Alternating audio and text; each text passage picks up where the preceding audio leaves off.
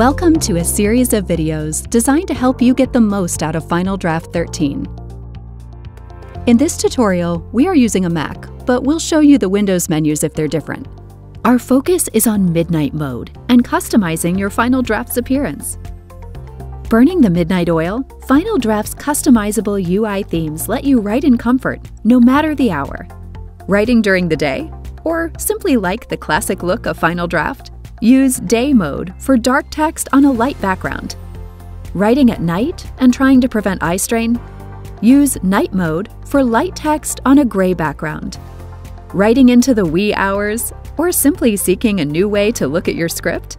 Midnight Mode takes Night Mode to the edge by offering light text on a dark gray background.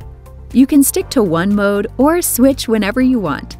When Final Draft first opens, it'll match your operating system's dark or light mode. For Mac users, the System option will tie Final Draft's color theme to the operating system's light, dark, or auto theme. If you select Light within the System settings, Final Draft will appear in Day mode. If you select Dark within the System settings, Final Draft will be in Night mode. And if you select Auto within the system settings, Final Draft will toggle between day and night mode to match when the operating system shifts between light and dark.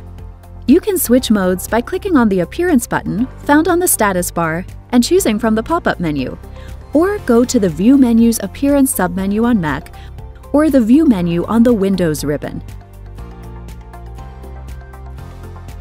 You can also customize your Final Draft's user interface on Mac by going to View, Customize Toolbar, or on Windows Classic View by going to View, Toolbars, Customize, and placing or removing buttons.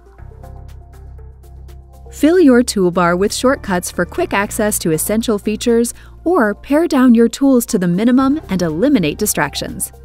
Do the same with your status bar at the bottom of the screen by control-clicking or right-clicking on Mac or right-clicking on Windows and hide or add features. And when you need to move it up a gear, here's a bonus tip.